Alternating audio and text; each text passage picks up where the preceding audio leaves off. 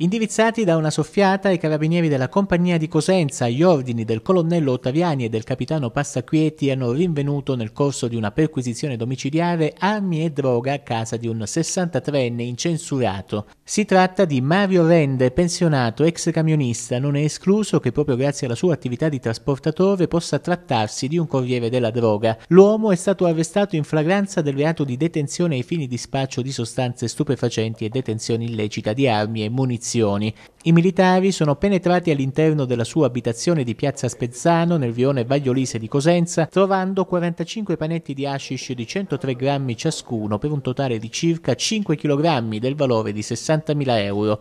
Rinvenuta inoltre una beretta con matricola a brasa con caricatore inserito e pronta all'uso e 14 colpi di pistola. Accertamenti successivi hanno permesso di appurare che il munizionamento risultava potenziato. Sono in corso ulteriori verifiche tecniche al fine di scoprire se l'arma è stata utilizzata in precedenti delitti. Salvatore Bruno per la CNews 24.